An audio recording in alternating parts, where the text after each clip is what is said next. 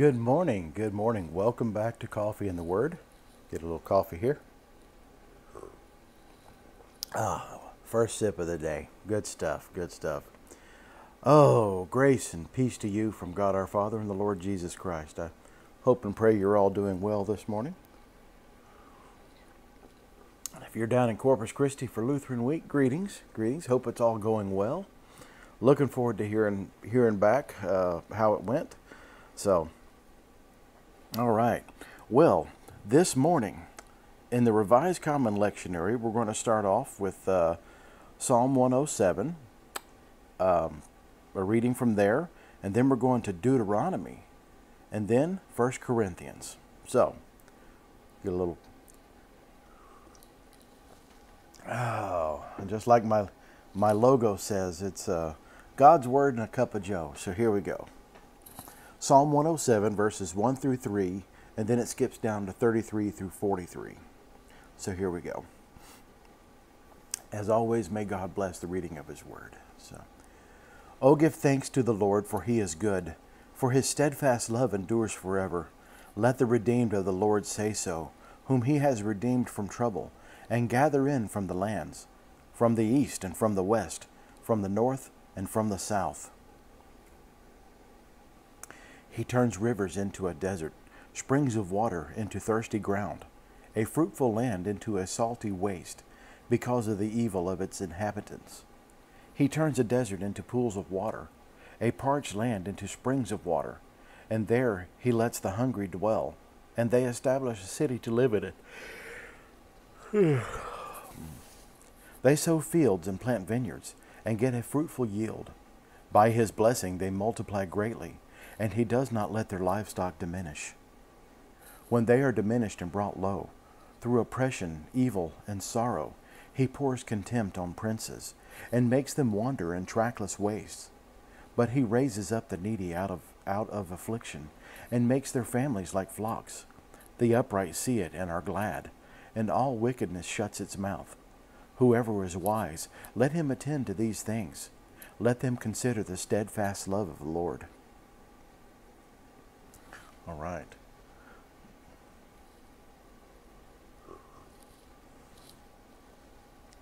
Oh, that's so good this morning. Uh, the Old Testament lesson this morning. We're going to uh, Deuteronomy chapter 8. The whole commandment that I command you today shall be uh, you shall be careful to do, that you may live and multiply, and go in and possess the land that the Lord swore to give to your fathers. And you shall remember the whole way that the Lord your God has led you these forty years in the wilderness, that he might humble you, testing you to know to know what is in your heart, whether you would keep his commandments or not. And he humbled you, and let you hunger, and feed you with manna, which you did not know, nor did your fathers know, that he might take you, uh, that he might make you know that man does not live by bread alone, but man lives by every word that comes from the mouth of the Lord. Your clothing did not wear out on you, or your foot did not swell these forty years. Know then in your heart that, as a man disciplines his son, the Lord your God disciplines you. So you shall keep the, keep the commandments of the Lord your God by walking in his ways and by fearing him. For the Lord your God is bringing you into a good land, a land of brooks of water, of fountains and springs, flowing out of the valleys and hills, a land of wheat and barley, of vines and fig trees and pomegranates, a land of olive trees and honey. a land in which you will eat bread without scarcity, in which you will lack nothing, a land whose stones are iron, and out of whose hills you can dig copper, and you shall eat and be full, and you shall bless the Lord your God for the good land he has given you.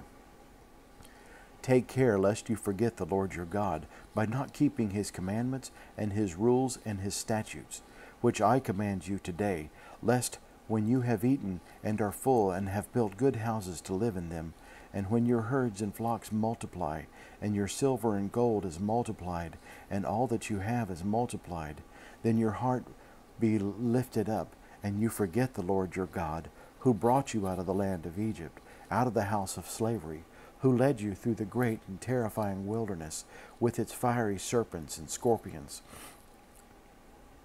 and thirsty ground where there was no water, who brought you, you water out of the flinty, flinty rock, who fed you in the wilderness with manna that your fathers did not know, that he might humble you and test you to do good in the end. Beware lest you say in your heart, My power and the might of my hand have gotten me this wealth. You shall remember the Lord your God, for it is he who gives you power to get wealth, that he may confirm his covenant that he swore to your fathers, as it is this day. And if you forget the Lord your God, and go after other gods, and serve them, and worship them, I solemnly warn you today that you shall surely perish. Like the nations that the Lord makes to perish before you, so shall you perish, because you would not obey the voice of the Lord your God. Mm. All right. On to the New Testament. Uh, the reading, the New Testament reading this morning, 1 Corinthians chapter 12, verses 27 through 30, 31. Now you are the body of Christ and individually members of it. And God has anointed in the church first apostles, second prophets, third teachers, then miracles, then gifts of healing, helping, ad, helping, administrating, and various kinds of tongues. Are all apostles? Are all prophets? Are all teachers? Do all work miracles? Do all possess gifts of healing? Do all speak with tongues? Do all interpret? But earnestly desire the higher gifts, and I will show you still a still more excellent way. All right. This is the word of the Lord. Next, we'll go to the Pray Now app and read the prayer of the day. Let us pray. Mighty God, your crucified and buried Son did not remain in the tomb for long. Give us joy in the task set before us, that we might carry out faithful acts of service as did Joanna, Mary, and Salome, offering to you the sweet perfume of our grateful hearts, so that we, too, may see the glory of your resurrection and proclaim the good news with unrestrained eagerness and fervor worked, worked in us through our Lord Jesus Christ, who rose and reigns with you in the Holy Spirit, one God, now and forever. All right. the prayer had mentioned uh, Joanna, Mary, and Salome. I believe that's how you pronounce it. Uh, myrrh bearers. And there's a little paragraph I'd like to share with you. Um, known in some traditions as the, the faithful women, the visit of these three persons and other women to the tomb of Jesus on the first Easter morning is noted in the Gospel records of Matthew, Mark, and Luke. Joanna was the wife of Chuza, a steward of Herod's household. Mary, the mother of James, the son of Alphaeus, was another of the women who faithfully provided care for Jesus and his disciples from the time of his Galilean ministry through his burial after the crucifixion. Salome uh, the mother, uh, the mother of the sons of Zebedee, uh, joined with the women both at the cross and in the bringing the spices to the garden tomb. These faithful women have been honored in the church through the centuries as examples of humble and devoted service to the Lord.